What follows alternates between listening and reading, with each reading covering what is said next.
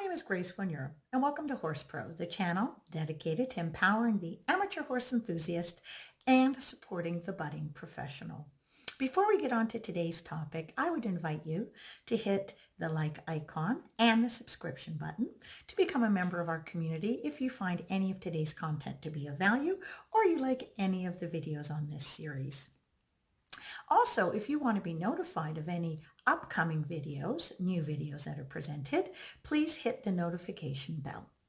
So today we're talking about a few techniques to help to learn to two-point properly. In our writing careers, most of us when we begin at a riding school will learn the walk, the rising trot, the sitting trot, the two-point trot, and then of course move on to the canter. Now the two-point trot refers to your two legs as the source of engagement of the horse's hind end. So your seat is not in the saddle. Basically, many people today teach this a little bit without giving all the information to the riders. They get the riders to push their hands forward, bend at the hip and bend their knees, but they get the rider to throw the shoulder forward.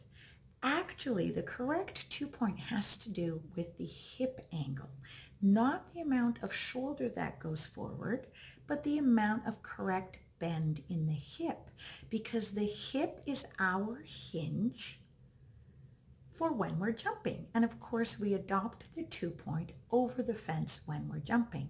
However, I would like to note that even for people who don't wish to jump, practicing the two point is an excellent way to help get ourselves, our weight distributed evenly in the saddle and to get our heels down. And certainly when we're learning to ride, when our legs need to be the primary focus because we teach horses, correctly train them back to front. We teach riders correctly to ride from the legs up. So when you're first learning, it's very important to keep your weight in your heels.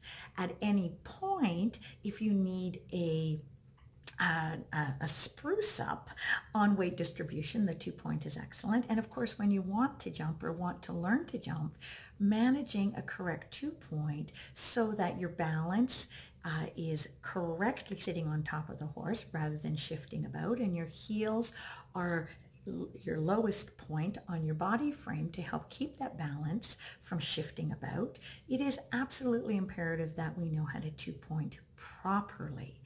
And it is a, a, something that does take a good instructor quite a lot of visual time and a lot of correction to riders in order to get their hands correctly pressing down into the neck rather than hovering on the side because again, we're working our riders from the bottom to the top. So we want to set those hands. So today's video tutorial shows you the exact steps our body needs to take in order to correctly perform a two-point and we go over it a few times and a few times in slow motion so that you can correctly see the angle of the hip. Because again, our shoulder simply goes forward because our hip and our seat comes slightly back.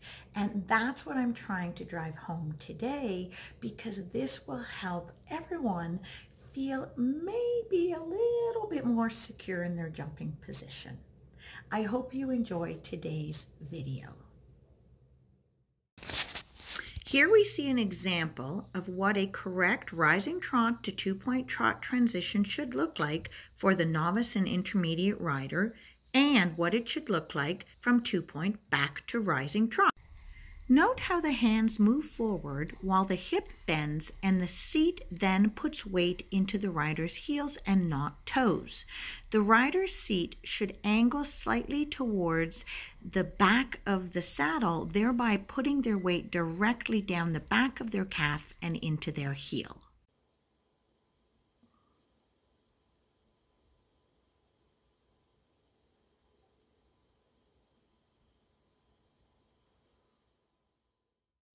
Here are those exact steps done at a standstill in the exact order as described in the slide previously to help you understand the transitioning. Once more, eyes up, push your hands forward, press your hips back, push weight into your hands and heels. In order to come back, shoulders back, heels down, hands back last. A rider should press their upper body weight into the horse's neck and hold the mane in an effort to help keep their seat slightly elevated out of the saddle while they bend at the hips and push weight into their heel. As you see here, when the hands do not press weight into the horse's neck or hold the mane, the lower back stiffens, the knees pinch, weakening the leg position, causing a wobble.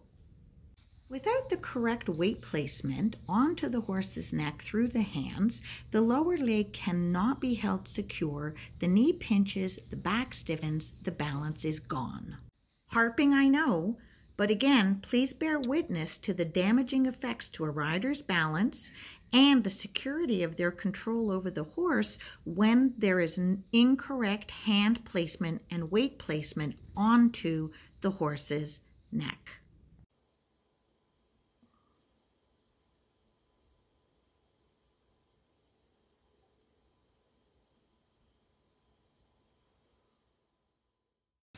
Another look at a correct and safe method in which to learn or teach a two point position from the rising trot back into the rising trot.